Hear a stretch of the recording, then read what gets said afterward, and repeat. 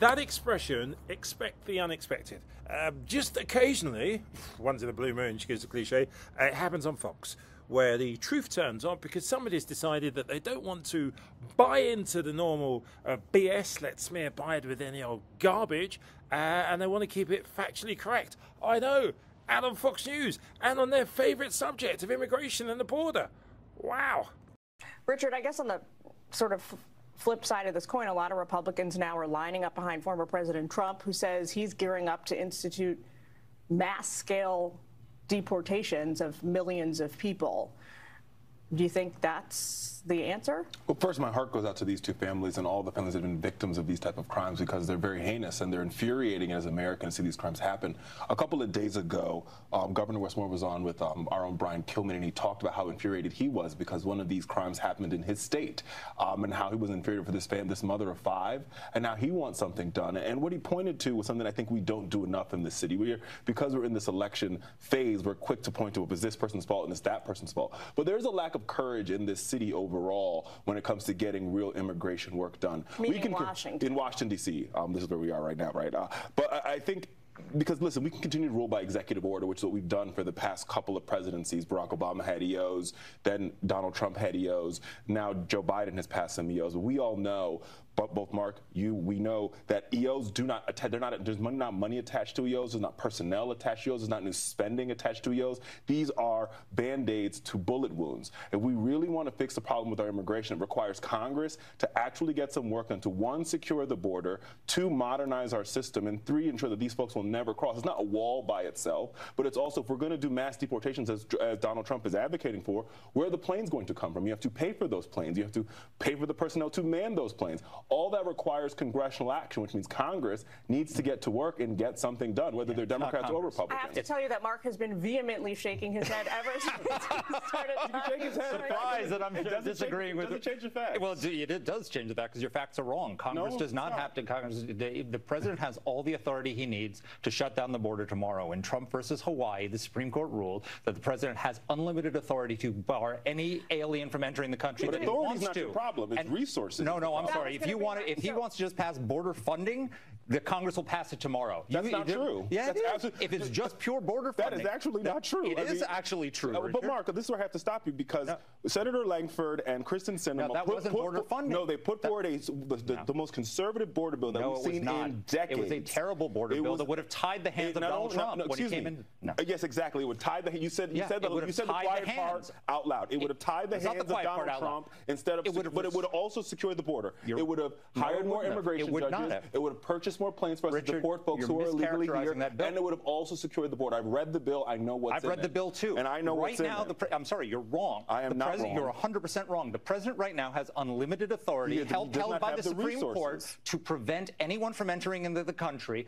This bill would have put restrictions on how many people, would, at what point, how many thousands of people were crossing the border before he could. It would have tied the hands of the next president. If you just want to put a bill yeah, adding more agents, adding more funding to deport that was people. That bill. It, but what it was, but along with restrictions of the do, president's I think, power. Realistically, here need both, right? If the president took maximum executive action tomorrow to shut down, the, shut border, down the border, as tomorrow. you said, Congress would eventually have to subsidize the policies. That's not the problem. There's no disagreement with Republicans on on funding border security. What they disagree with is all the parts of the bill that would have restricted the president's ability to but shut down the border. There is disagreement with Democrats about the funding. Well, look, yeah, the Democrats are against Democrats the funding. So talk to your own side, Richard. Democrats are willing to vote for the bill that Senator Lankford put forward, but it's also worth pointing out here that the border is five thousand miles. It's five. It's five thousand miles. So the ideal of saying we're going to shut down the border, even though the border is not contiguous, not one wall is going to do it. You're going to need funding from Congress to get it done. Republicans in this moment aren't willing to do it because Mark said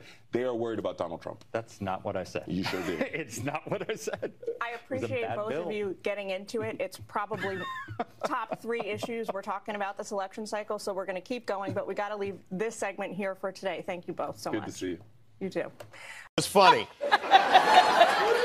Yeah. Yeah. Can you tell us what like led up to that? Or is there anything that we didn't see that precipitated that? Um... No, it's No. just that Marjorie is a little slow. Mm-hmm. Yeah. no. Yeah. So, you know, what most people don't know is that on this particular day, we were supposed to have our hearing at 11 a.m. Okay. Instead, it wasn't until like 8 p.m. Like they were trying to compete with you for like ratings, I guess. Why? On C-SPAN. You Why know, was- C-SPAN trying to get it up. But nevertheless, um, what it was is that they had gone to New York because they wanted to be by Trump's side as he Oh. was in trial. So you had to wait for them? So we had to wait for them to come back. Oh. So, so then, and, and the hearing was supposed to be about the AG, right? So we're supposed to be talking about AG Merrick Garland, and she starts talking about Judge Merchan. So now I'm upset because it's already late at night. I've been here all day, ready to work. Y'all aren't here, and you're still talking about that failed trial. So I had to ask her if she understood because she's not the brightest. Uh huh. Right. Oh Um, yeah. And ultimately, she, you know, just She decided- attacked you She personally. did. She did. Yeah. She started it. She did. Did you have that phrase? Uh, what was it again? Uh, uh, bleach blonde, Bad built, bad built, butch body. butch body. That's right. Was that?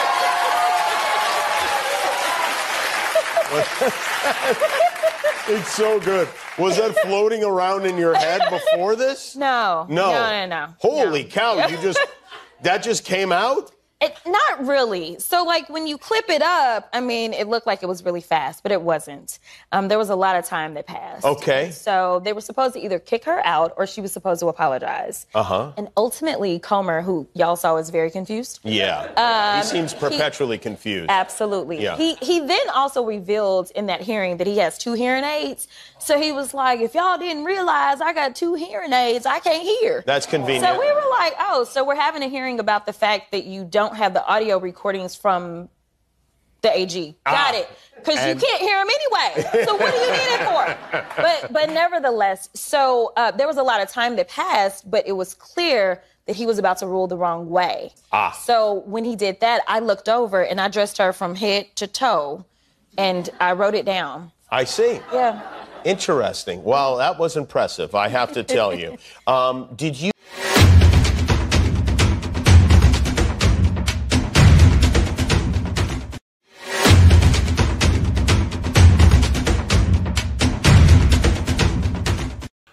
Where should we start? Uh, let's start with Tammy. Uh, went on Google to see if you've ever said anything which could be described as uh, politically relevant or politically factually correct or politically worth quoting. Something where there's been a conversation and you've said something which the majority of people uh, think is that's accurate. Nope, nothing. Natural born liar. No wonder you're at Fox. Butt of all jokes, I suppose. Uh, Skank, Skank, what's the guy? What's, what's oh yeah, you use the M word quite a lot, don't you, Skank? You're one of these progressives. Uh, you're playing both sides of the wing. Really, at the end of the day, you probably go home and laugh at people like uh, Bernie Sanders. Uh, use the M word, don't you? Mm, don't like us mentioning that, do you? Never mind. Uh, Mr. Morgan, the guy who was at CNN, he was at CNN once. Can you believe it? Whichever side the bread is buttered is where you'll find uh, Piers Morgan. Um, by the way, crawled up the backside of the losing president of the United States of America. Some people say he's a brown noser. Other people say he's full of, well, you know what, doo doo. But hey, Piers, welcome to YouTube.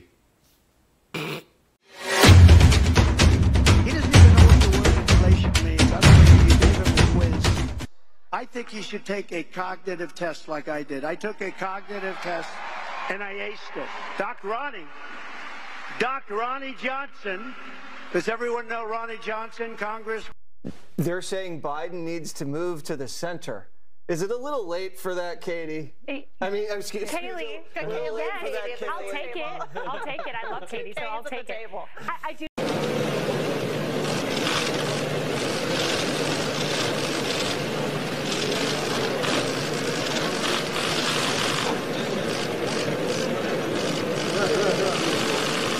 Biden's cognitive ability is not good. Anyone with eyes to see, you can see it.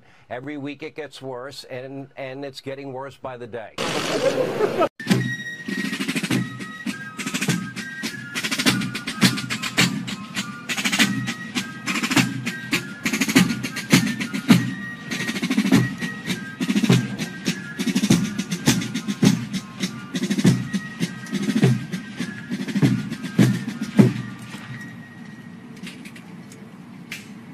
Biden's cognitive ability is not good. Anyone with eyes.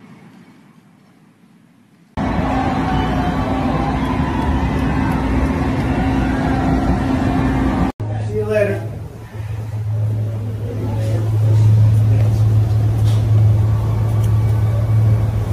to see. You can see it. Every week it gets worse. We'll do it again. Here we go. Thank you very much.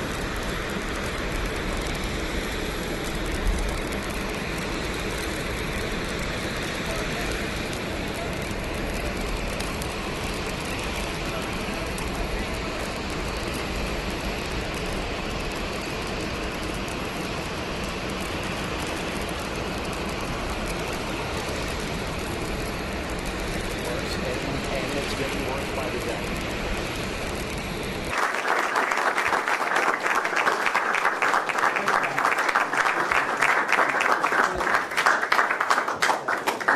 Thank you, everybody. Mr. President,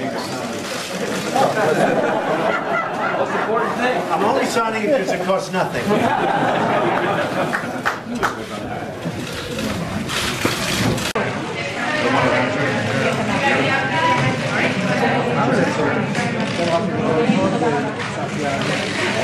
Were you trying to tell the Justice Department to grant immunity to Michael Flynn?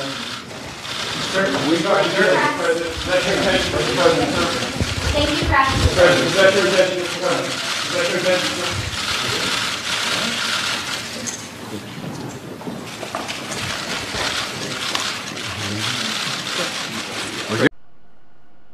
Sure.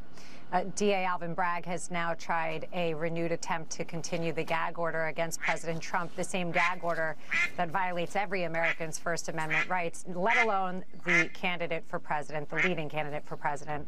He's renewing his uh, claims that it is necessary to maintain them, even though the trial is over.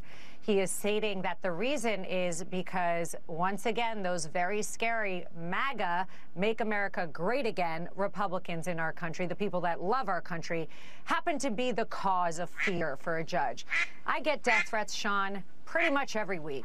Um, I don't blame the DNC. I don't blame anybody that's uneducated. I don't go on a, a, tirade about it. I take it because I'm a public person, because it's kind of what I asked for. But here we've got a guy who's political, and we have him using anything he can to take the constitutional rights of Americans, especially the rights of us to choose and hear the leading candidate for president of the United States of America by taking away his voice. It's so desperate and pathetic. It's not enough that they can't win in court because they get overturned. Now they have to silence their opponent. It's absolute election Oh. interference.